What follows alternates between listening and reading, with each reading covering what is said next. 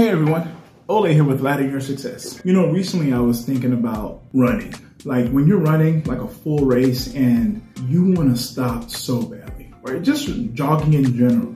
When you're running and you are so ready to stop and you just want to breathe a little bit and rest, but that voice in your head or your your inside, something inside of you is saying, don't quit, don't stop, keep going. Or it could be people around you that are saying, don't stop, keep going. It kind of reminded me about life and fulfilling our purpose or pursuing our purpose or pursuing a goal. When you're running, when you're going and you're doing that thing, there are going to be so many reasons, so many people, yourself maybe, that could be trying to talk you out of doing that thing, completing that task, completing that goal, fulfilling your purpose.